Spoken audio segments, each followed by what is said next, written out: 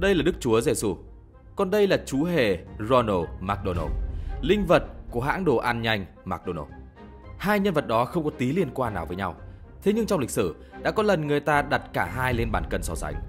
Cụ thể là vào năm 1995, một cuộc khảo sát được thực hiện với 7.000 người ở 6 quốc gia đã cho thấy logo cổng vàng của McDonald được nhiều người nhận ra hơn cả biểu tượng thánh giá của Kitô giáo với 88% so với 54%. Kết luận được đưa ra là Ronald McDonald nổi tiếng hơn Chúa Giêsu. Tất nhiên chỉ là về mặt số liệu, không có hàm ý báng bổ hay gì ở đây cả nhé. Thật vậy, McDonald là một huyền thoại. Bạn có biết rằng là mỗi giây có 75 chiếc hamburger của hãng được bán ra? Hay là mỗi ngày McDonald tiếp đón khoảng 69 triệu khách hàng, nhiều hơn cả dân số của Vương quốc Anh. Mà nhắc đến Vương quốc Anh thì bạn có biết là nữ hoàng Elizabeth từng sở hữu một cửa hàng McDonald gần cung điện Buckingham trong danh mục đầu tư bất động sản khổng lồ của bà không?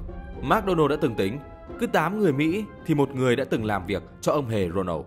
Bảo sao mà không phải Hollywood, McDonald mới thực sự là bệ phóng của các ngôi sao. Ví dụ như vị này, vị này, vị này. Thậm chí là cả vị tỷ phú thuộc top giàu nhất thế giới này cũng khởi đầu khiêm tốn ở McDonald. McDonald là chuỗi đồ ăn nhanh lớn nhất thế giới với 36.000 cửa hàng ở 122 quốc gia và vùng lãnh thổ, trong đó có Việt Nam với 33 chiếc cổng vòng vàng. Thế nhưng đồng thời, bạn có biết rằng nhiều trẻ em ở Mỹ nhận ra logo cổng vàng trước cả khi nhận biết được cái tên của mình không? Rằng một phần tư tổng lượng rau củ mà trẻ em Mỹ ăn vào là dưới dạng khoai tây chiên. Rằng một chiếc hamburger chứa thịt từ hàng chục, thậm chí hàng trăm con giả súc. Rằng vì thức ăn nhanh bị chế biến quá sâu nên đã mất đi phần lớn của hương vị. Mùi vị của hầu hết fast food đều được chế tạo trong một loạt nhà máy hóa chất ở New Jersey. Đó chỉ là một vài sự thật gây sốc trước tiết lộ trong bộ phim tài liệu này ra mắt vào năm 2001.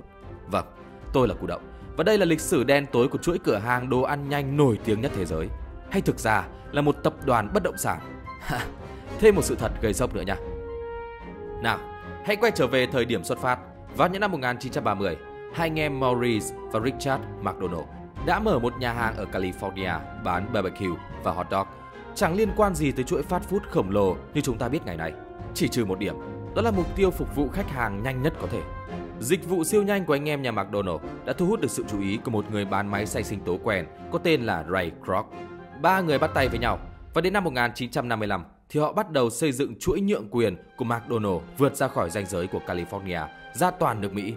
Thế nhưng bước ngoặt thật sự phải là khi Ray Kroc gặp một nhà đầu tư có tên là Harry Sonebron. Người mà có câu nói nổi tiếng, anh không kinh doanh burger, anh kinh doanh bất động sản. Anh không xây dựng một đế chế bằng cách ăn lãi 1,4% từ một cái burger giá 15 xu. Anh xây dựng đế chế bằng cách làm chủ mảnh đất nơi anh làm ra các cái burger đó. Nhờ ý tưởng của Sonebron, Ray Kroc đã thay đổi hoàn toàn lịch sử của McDonald và gây dựng cho mình khối tài sản 600 triệu đô la, tương đương với 1,4 tỷ đô la ngày nay. Vào năm 2019, tổng giá trị bất động sản của McDonald nắm giữ lên tới 39 tỷ đô la, biến thương hiệu này trở thành hãng kinh doanh nhà đất lớn thứ năm trên thế giới. Hãy để tôi giải thích về đế chế bất động sản của McDonald. Với kinh nghiệm lâu năm trong ngành bất động sản, các cửa hàng của McDonald đều sở hữu những vị trí đắc địa như là góc hai mặt tiền hay trên những con đường lớn sầm uất. Hãng không chỉ đơn thuần việc thuê một mặt bằng để kinh doanh mà họ sẽ đàm phán để thuê, mua hoặc nhờ một đối tác tài chính đứng vào hỗ trợ để mua lại toàn bộ mặt bằng này. Với uy tín của mình, McDonald dễ dàng vay được vốn từ ngân hàng. Như vậy thì họ chỉ cần bỏ ra 1 phần 3 số tiền để mua lại bất động sản đó. 2 phần 3 số tiền còn lại, ngân hàng hay các đối tác tài chính sẽ cho vay. Số tiền lãi cộng với lợi nhuận hàng tháng sẽ được trả bằng chính dòng tiền từ hoạt động kinh doanh của McDonald.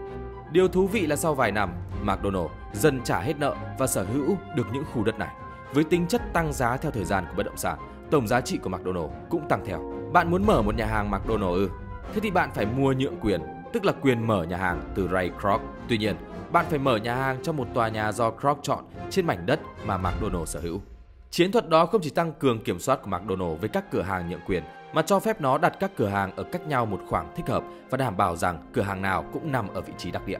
Thứ hai là nó giúp cho McDonald thu được tiền đơn tiền kép, ngoài khoản 45.000 đô la tiền chuyển nhượng, phần trăm doanh thu của cửa hàng và quan trọng nhất là tiền thuê địa điểm. Rõ ràng, McDonald là một tập đoàn bất động sản. Họ vay ngân hàng mua đất rồi cho thuê cố định với mức giá do họ đặt sẵn dưới danh tiếng của nhượng quyền thương hiệu. McDonald cũng hoàn toàn có thể tìm ông chủ mới sau khi hợp đồng nhượng quyền hết hạn hoặc đơn giản là bán khu đất đó đi. Thế nhưng McDonald không chỉ kiếm bộn tiền nhờ thuê nhà đâu, mà họ còn gần như không đóng một đồng tiền thuế nào. Vì là một doanh nghiệp bất động sản, McDonald được khấu trừ thuế nhờ cái gọi là bất động sản mất giá do suy thoái. McDonald cũng lợi dụng các khoản nhượng quyền để trốn khoảng 1,8 tỷ đô la tiền thuế. Thậm chí trong thời gian khủng hoảng, McDonald còn có cơ hội mua đất với giá rẻ hơn để kinh doanh và phát triển. Thế nhưng điều tuyệt vời nhất mà suy thoái đem lại cho McDonald chính là những khách hàng khốn khổ tuyệt vọng. Khi tiêu chuẩn sống đi xuống, lạm phát tăng vù vù, tiền lương bị cắt giảm, những người này không còn cách nào khác là phải tìm đến McDonald. Tất cả đều tranh nhau làm việc ở McDonald, tranh nhau ăn ở McDonald, chỉ để thỏa mãn trong 5 phút bằng thứ hạnh phúc giá rẻ. Túm lại thì McDonald miễn nhiễm với suy thoái, thế nhưng việc đó thì có thể tệ đến đâu cơ chứ? Hãy quay lại thời điểm vào tháng 1 năm 1971. Đó là lúc McDonald tung ra McDonald Land một thế giới của trí tưởng tượng, béo phì và bệnh tật. Những quảng cáo của McDonald's đánh trúng vào trái tim và bộ óc nhỏ bé của lũ trẻ. Và rất nhanh chóng, McDonald trở thành cái tên không thể thiếu của mọi nhà. McDonald nhồi nhét không thương tiếc hình ảnh của mình cho lũ trẻ thông qua nào là hoạt hình, nào là trò chơi điện tử, phim truyền hình và điện ảnh. Tất cả những mánh lưới này hiệu quả đến mức mà McDonald tiếp tục nâng trình marketing lên một tầm cao mới hoặc một tầng địa ngục mới, tùy theo cách bạn nghĩ. Đó là khi tung ra Happy Meal, sáng kiến thiên tài này thực chất chỉ là một cái hộp nhồi nhét đồ chơi rẻ tiền để dụ dỗ trẻ con nghiện đồ ăn ở McDonald. Bạn biết đấy, trẻ con đứa nào chẳng thích đồ chơi và chúng sẽ xin bố mẹ mua càng nhiều Happy Meal càng tốt để giành bằng được món đồ chơi bắt mắt nhất. Chúng sẽ không bao giờ dừng lại vì McDonald luôn không ngừng tung ra những bộ sưu tập đồ chơi mới, ăn theo những thương hiệu nổi đình nổi đám khác của nền văn hóa đại chúng. Và một khi đã bập vào, những đứa trẻ lớn lên sẽ tiếp tục nhồm nhoàm chiếc hamburger với kích thước càng ngày càng lớn. Chiến lược đó giúp cho McDonald kiếm bộn tiền, bất chấp việc nó tạo ra một thế hệ mà đồ ăn nhanh đã ngấm vào trong máu, làm tắc nghẽn động mạch với nào là đường, muối, chất béo bão hỏa. Tất cả chúng ta đều biết McDonald không tốt cho sức khỏe. Thế nhưng có lẽ mọi người không biết rằng sự trỗi dậy của McDonald có liên quan mật thiết đến sự gia tăng của căn bệnh béo phì. Theo số liệu của Tổ chức Y tế Thế giới WHO đã chỉ ra mối tương quan giữa béo phì và số lượng cửa hàng của McDonald. Từ cuối những năm 1990, người tiêu dùng đã bắt đầu nhận ra tác hại của việc tiêu thụ quá nhiều fast food. Trong những năm gần đây, chú hề Ronald bị coi là biểu tượng quái dị rùng rợn của chủ nghĩa tiêu dùng vô độ của nước Mỹ. Nhận ra điều đó, McDonald đã định hình lại hình ảnh của mình bằng cách tân trang lại nhà hàng hay quảng cáo các món salad. Nghe thì có vẻ là healthy và balance đấy. Thế nhưng mà không qua mặt được người tiêu dùng nữa đâu. Cho nên là trong một thập kỷ vừa qua, McDonald đã phải đóng cửa hàng trăm cửa hàng, một mất mát lớn cho đế chế bất động sản của McDonald. Thế nhưng mà chỉ cho đến bây giờ thôi. Bạn nhớ ra chưa? Thế giới ngày nay của chúng ta đang rất gần với một cuộc khủng hoảng suy thoái mới. Lịch sử đã dạy chúng ta thế nào? Khi mà thế giới suy thoái, McDonald sẽ trỗi dậy. Và còn hơn thế nữa, vì không chỉ có người nghèo mới ăn McDonald và người nghèo đâu chỉ ăn mỗi McDonald. Có một lý do ghê gớm hơn đằng sau sự trỗi dậy của chiếc cổng vàng. Trong cuộc sống tất bật này, cấu trúc gia đình và cộng đồng truyền thống dần bị phá vỡ. Bạn có nhận ra các thành viên gia đình ít khi quây quần đủ mặt trong bữa cơm hay không? Thay vì dùng bữa với cả gia đình, ngày nay nhiều trẻ em lẫn người lớn ngồi ăn một mình, không thích tự nấu ăn và lựa chọn tuyệt vời nhất, tiện lợi nhất là gì nào?